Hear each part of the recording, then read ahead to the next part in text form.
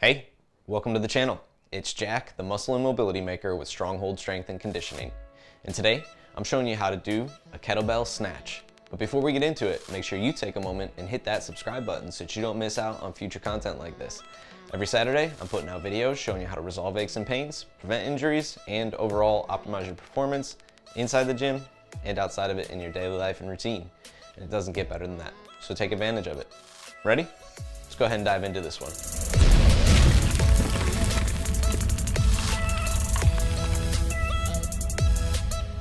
Right, like I said, today I'm gonna be taking you through step by step how to scale to a full kettlebell snatch.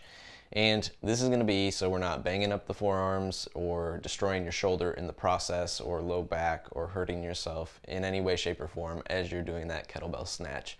So we're gonna make sure you have nice solid structure and form in a hard style format of the kettlebell snatch and that will be our main goal overall. So first of all, why would I want to be using a kettlebell snatch? When would I want to be using a kettlebell snatch? So the kettlebell snatch is a combination of a bit of a hinge movement and almost a pressing movement in the vertical plane. So you can think of it as a combination of a hinge plus a vertical press in some way, shape, and form. And you'll see that as we're talking through the actual movement process here that you want to have down as you're doing that kettlebell snatch. Now, one thing we want to check to make sure that you're in a good position to actually do a kettlebell snatch safely is your overhead mobility. So the first thing we would want to make sure is that you could comfortably extend the arm overhead and even slightly behind in line with the ear or slightly to the back of it there.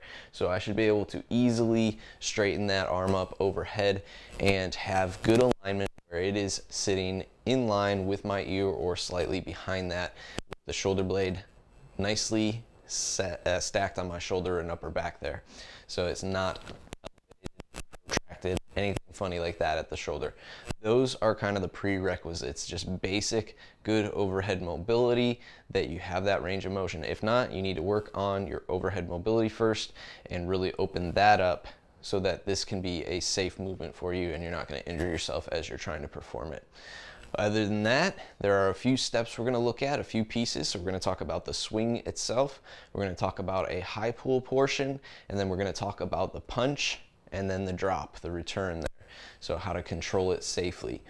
Those are the key pieces that we're going to put together to make your full kettlebell snatch. Now, ready? Let's go ahead and dive into this and we'll look at all those pieces in their full. All right, the first piece of our snatch that we need to have down is a good kettlebell single arm swing here. What I'm doing is leaning over the bell, putting all my weight down onto it at first so I could set my shoulder. Once I have that, I'm gonna pull the bell high up into my hip crease and drive the hips forward to explosively swing the bell up to about chest and head height. Now you'll notice that my thumb points back when it's between high in that triangle of the hips above the knees and I'm pulling the bell back into the hip crease each time, driving forward, practicing the swing of my free arm with that bell so that I'm able to lock in my core at the top. So I want to feel a tight plank position at the top. Once again, I'm gonna reset here, set the shoulder on the bell first, get a good grip, make sure I'm doing a good job setting that position, pulling the bell back, and then driving forward with the hips, explosively swinging it up, letting it float at about chest to head height, and then pulling it back down high in the hip crease where our triangle target is above the knees, below the hips there.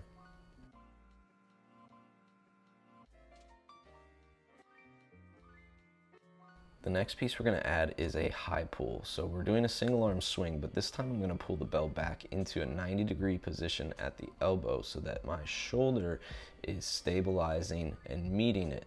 So I want to pull high, the bell's floating, and I'm stopping the bell in that 90 degree position as it floats back. Then I push it back down and pull it back into my hip crease with my thumb pointing back.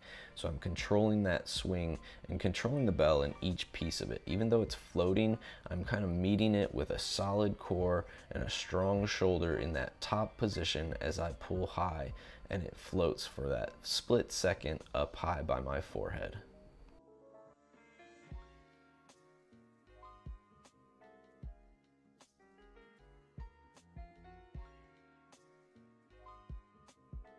Once you've got the high pull down, now we can go for that full snatch, adding the punch.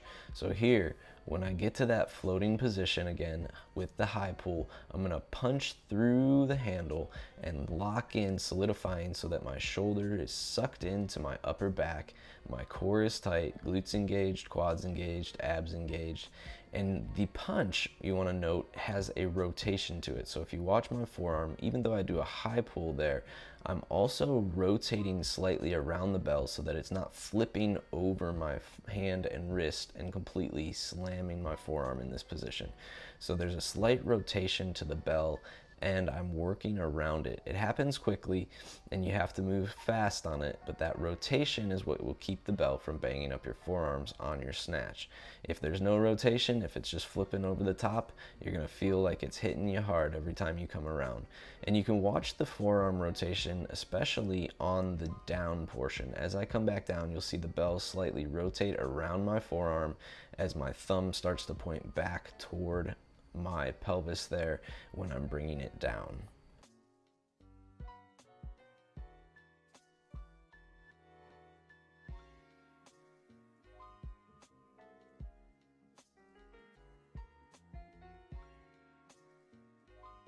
And the last piece we're gonna work on is the rotation on the drop, bringing it back into that high target of the hips once again.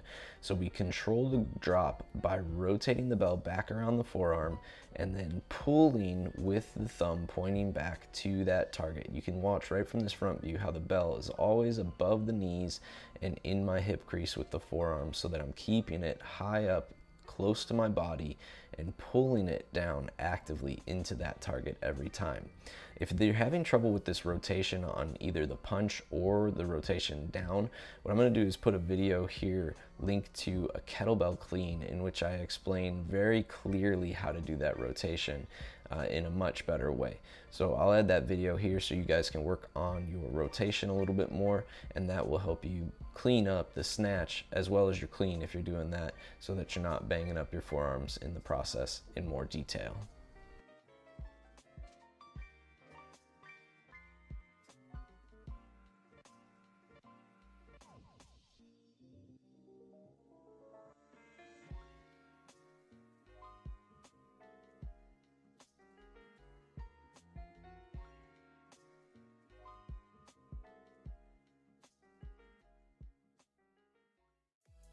All right, and there you have it. How to perform a kettlebell snatch and how to scale yourself up to it, making sure that you have, first of all, the range of motion that you should, and secondly, the actual steps of the movement down. You can practice each piece individually and build it up from there to that full snatch.